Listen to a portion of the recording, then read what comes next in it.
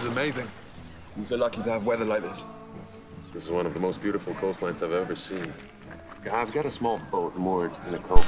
Hola, soy Carlos Violadé. Eh, vengo a presentar el cortometraje Foreigner, extranjero, y él es Josh Taylor, el protagonista.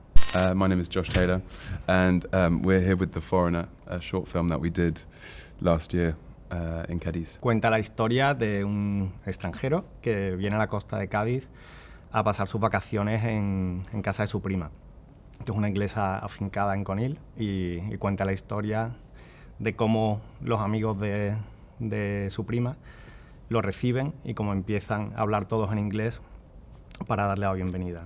Y a partir de ahí pues sucederá algo inesperado, que es lo que cuenta esta, histo- esta historia. So the film is about a man called Mark, who uh, has a very busy job in, in England, and he goes um, on holiday to Cadiz to see his cousin, uh, and then he goes for a swim, and is taken by the sea, um, and he has this journey um, throughout the film, um, in just being swept away by the sea and not being rescued, uh, and then he eventually gets rescued by some uh, African immigrants. Don't, don't say everything, Josh. Not the whole film.